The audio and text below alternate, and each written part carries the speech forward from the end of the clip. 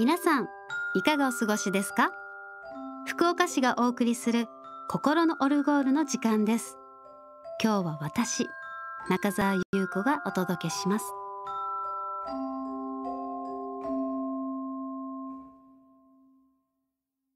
厚生労働省によると日本で働く外国人は5年連続で増えていてコンビニや飲食店建設現場や製造業など様々な職種で深刻な人手不足を補っています。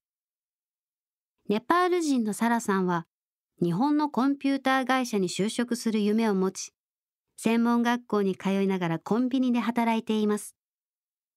日本語が上手になりたかったからというサラさんは接客業で日本語の会話を覚えていったのです。同じくコンビニで働くスマリカさん。ホテルサービスの専門学校に通いながらアルバイトをしています。卒業後は日本のホテルで働きそこで学んだことを母国ネパールのホテルでサービス向上に生かすことを目指しています。二人を指導する店長の田中さんはこう話します。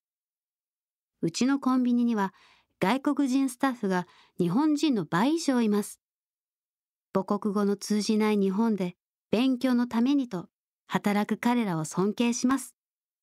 日本とネパールとでは時間や約束に対する感覚が少し違いますが、仕事ぶりは本当に真面目です。言われたことをきちんとやるし、手を抜かない。英語も全員堪能ですし、とても助かっています。と、笑顔で話してくれました。